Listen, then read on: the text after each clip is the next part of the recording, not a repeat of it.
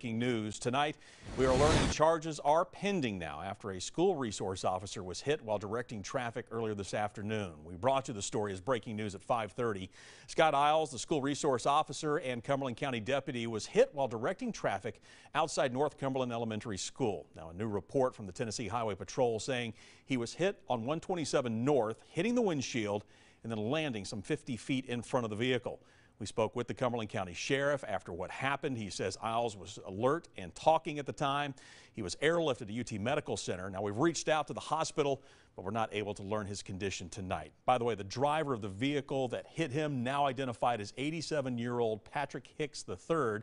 THP saying charges are pending against him, not going into specifics about what those charges might end up being. Of course, we're going to be sure to keep you posted. All right.